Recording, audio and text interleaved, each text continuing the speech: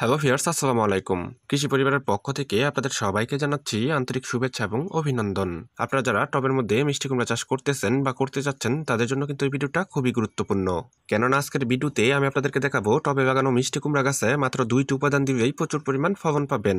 Fierce আমি আশা করি আপনারা যদি আমার মতো করে টবে লাগানো মিষ্টি কুমড়া গাছের মধ্যে জৈব সার দিয়ে পরিচর্যা করে দেন, তবে আপনাদের ছোট মিষ্টি কুমড়া গাছ থেকেই দ্বিগুণ পরিমাণ ফলন পাবেন। তবে চলুন ফিয়ার্স মূল ভিডিওতে চলে যাই। ফিয়ার্স টবের মধ্যে মিষ্টি কুমড়া চাষ করার জন্য আমি সর্বপ্রথমই টবের মধ্যে কিছু পরিমাণ মাটি ভরে নিয়েছি। তো দেখুন, আমার মাটিগুলো কিন্তু অনেকটাই ঝুরঝুর আছে। এই মাটিগুলো কিন্তু আমি টবের জন্য প্রসেস করে থাকি। তো এই জায়গায় কিন্তু আমি কিছু পরিমাণ বীজও নিয়ে নিয়েছি। দেখুন, বীজগুলো কিন্তু চিকচিক করতেছে। এই বীজগুলো চিকচিক করার কারণ হচ্ছে বীজ কোম্পানি কিন্তু এই বীজগুলোর মধ্যে কেমিক্যাল দিয়েছে, যাতে করে বীজগুলো খুব সহজে নষ্ট না হয়। তো আমি কিন্তু মাঝখানে এই বীজগুলো লাগিয়ে দিব। এই বীজগুলো মাঝখানে লাগিয়ে দেওয়ার কারণ হচ্ছে যাতে করে পরবর্তীতে আমি টবের চারদিকে সার দিতে পারি। তো ভিয়ার্স আমি মাটির এক থেকে দেড় ইঞ্চি পরিমাণ নিচে এই বীজগুলো পুঁতে দিলাম। মাটির এক থেকে দেড় ইঞ্চি পরিমাণ নিচে পুঁতে দেওয়ার পর উপরে আমি অল্প করে মাটি দিয়ে দিলাম। এতে করে কিন্তু আমার বীজগুলো খুব সহজে অঙ্কুরোদ্গম হবে। তো ভিয়ার্স আমি ফিরে আসছি আরও কিছুদিন পর যখন আমার এই বীজগুলো থেকে চারা গজিয়ে যাবে। ফিয়ার্স আমি আবারও ফিরে এলাম কিছুদিন পর। তো দেখুন ফিয়ার্স আমি যে কিছুদিন আগে টবের মধ্যে মিষ্টি কুমড়ার বীজগুলো লাগিয়ে দিয়েছিলাম, সেই বীজগুলো থেকে কত সুন্দর চারা গজিয়ে গেছে। আমার কিন্তু প্রায় সবগুলো বীজ থেকে চারা গজিয়েছে, আর চারাগুলো দেখতেও কিন্তু অনেকটা সুন্দর দেখা যাচ্ছে। ফিয়ার্স আমার এই চারাগুলোর বর্তমান বয়স হবে আট থেকে দশ দিন। আমি কিন্তু আজকে এই চারাগুলোর মধ্যে পরিচর্যা করব। পরিচর্যা বলতে আমি কিছু পরিমাণ জৈব সার দিয়ে দিব। আপনারা চাইবে কিন্তু জৈব সারের পরিবর্তে রাসায়নিক সার দিয়েও চাষ করতে পারবেন। ভিউয়ার্স আপনারা টবের মধ্যে যে কোনো ধরনের শাকসবজি চাষ করেন না কেন, সঠিক সময়ে যদি পরিচর্যা না করেন, তাহলে কিন্তু ভালো একটা ফলন পাবেন না। তাই অবশ্যই কিন্তু সঠিক সময়ে গাছের মধ্যে পরিচর্যা করে দিতে হবে। মিষ্টি কুমড়া গাছের বয়স যখন দশ থেকে বারো দিন থাকবে, তখনই কিন্তু সেই গাছগুলোর মধ্যে পরিচর্যা করে দিতে হবে। ফিয়ার্স আমি সর্বপ্রথমে দিয়ে দিব কিছু পরিমাণ জৈব সার। এই জৈব সারটা কিন্তু আমি বাজার থেকে বিশ টাকা কেজি দরে ক্রয় করে এনেছি। আপনারা বাজারে সারের দোকান অথবা নার্সারি থেকে কিন্তু এই জৈব সারগুলো কিনতে পাবেন।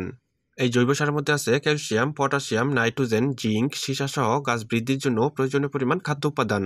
ফিয়ার্স আপনারা একটা গাছের মধ্যে দুইশো থেকে আড়াইশো গ্রামের মতন জৈব সার দিতে পারবেন। আর এই জৈব সারটা কিন্তু আপনারা পনেরো দিন অন্তর অন্তর গাছের মধ্যে দিয়ে দিতে পারবেন। আপনারা যদি ছোট মিষ্টি কুমড়া গাছে জৈব সারগুলো দিয়ে দেন, তবে কিন্তু মিষ্টি কুমড়া গাছগুলো খুব দ্রুতই বড় হয়ে যাবে। ফিয়ার্স এই জৈব সারটা দিয়ে দেওয়ার পর এখন আমি দিয়ে দিব কিছু পরিমাণ হাড়ের গুঁড়া। এই হাড়ের গুঁড়ার মধ্যেও কিন্তু গাছ বৃদ্ধির জন্য প্রয়োজনীয় পরিমাণ খাদ্য উপাদান থাকে। আমি এখানে তিরিশ থেকে চল্লিশ গ্রামের মতন হাড়ের গুঁড়া দিয়ে দিব। এই হাড়ের গুঁড়াটা কিন্তু আপনারা চাইলে গাছের গোড়ার মধ্যে দিতে পারবেন অথবা গাছের গোড়া থেকে একটু দূর দিয়েও দিতে পারবেন। ফিয়ার্স এই জৈব সারগুলো দেওয়ার পর আপনারা কিছু পরিমাণ গোবর সার দিয়ে এই জৈব সারগুলো ঢেকে দিবেন। যদি আপনাদের সঙ্গে গোবর সার না থাকে, সেই ক্ষেত্রে কিন্তু কোনো রকমের অসুবিধা নেই। তো ফিয়ার্স আমার সঙ্গে যেহেতু এই মুহূর্তে শুকনো গোবর সার নেই, তাই কিন্তু আমি শুকনো গোবর সারগুলো দেইনি। আপনারা যদি পারেন, তাহলে অবশ্যই কিন্তু শুকনো গোবর সার দিয়ে ঢেকে দিবেন।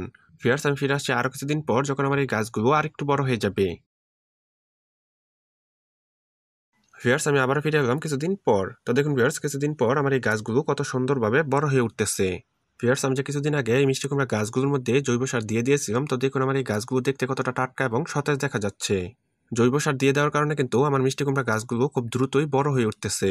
ভিয়ার্স আপনারা কিন্তু এই জৈব সারগুলো পনেরো থেকে বিশ দিন অন্তর অন্তর গাছের মধ্যে দিতে পারবেন।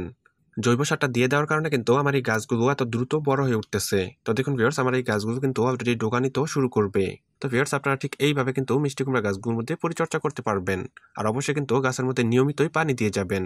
তো ভিয়ার্স এই ছিল আমার আজকের ভিডিও আপনারা চাইবে কিন্তু আমাদের ফেসবুক পেজও যুক্ত হয়ে যেতে পারেন। আমাদের ফেসবুক পেজের নাম হচ্ছে কৃষি পরিবার। সবাই ভালো থাকবেন, সুস্থ থাকবেন, এই কামনা করে আজকের মতো বিদায় নিচ্ছি। দেখা হয়ে যাবে আগামী কোনো নতুন ভিডিওতে আসসালামু আলাইকুম।